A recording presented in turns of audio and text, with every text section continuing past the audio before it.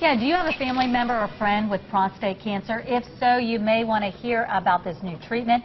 Dr. Rob is in the house to tell us how this is changing how doctors detect and treat prostate cancer. Groundbreaking, state-of-the-art procedure. Really? Yep. What is it?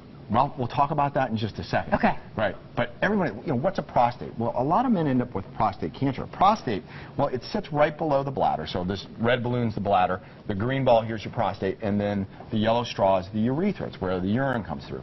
And men get cancer of the prostate.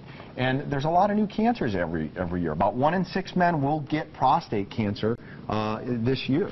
So, and there's about 220,000 new prostate cancer diagnoses a year, and about 28,000 men die each year from Wow. prostate cancer. Wow. And there's around 3 million men living with prostate, prostate cancer. So that, those are pretty incredible numbers. It is the second most common cancer that men get behind skin cancer.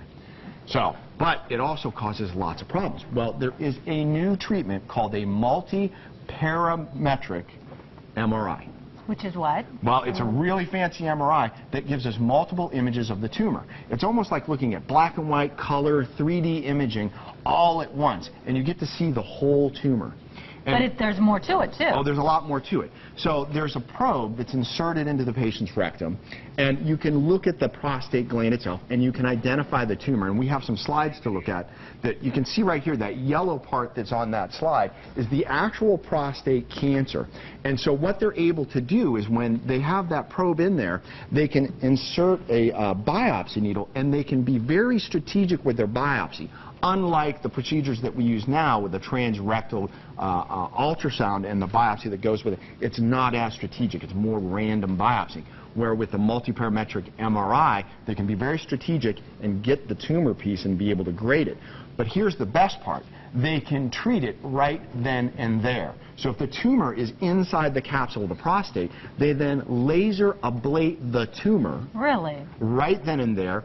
The whole procedure is about two to three hours. And get this, men are getting up after this procedure, and there we can see on this slide right here the probe that's in the rectum, a biopsy of the prostate being taken. Well, after they treat the cancer with the um, laser ablation, men are actually golfing afterwards. Oh, my gosh. The downtime is what you would say is zero. Wow. It's a phenomenal procedure. But you said it's right now only in California, unfortunately, but you think it's going to obviously. Over the years, it's actually passed phase one and now is in phase two trials. It's out in California. There's only one place in the country right now to get this procedure done. Europe is about three to four years ahead of the United States with the delivery of this procedure. So hopefully we'll catch up soon because this is a state-of-the-art procedure that will save many lives and save a lot of heartache from um, all all these other major surgical procedures. Tremendous news. Great news. It is. Dr. Rob, how do we find you? You can find me at alphamaleinstitute.com. We do have a link on the site to get you to Desert Medical Imaging, which is where the study is being conducted out Perfect. in California. Perfect. So they can click on that and find it. Dr. Rob, thank you. Great to be here. All right, Katie, over.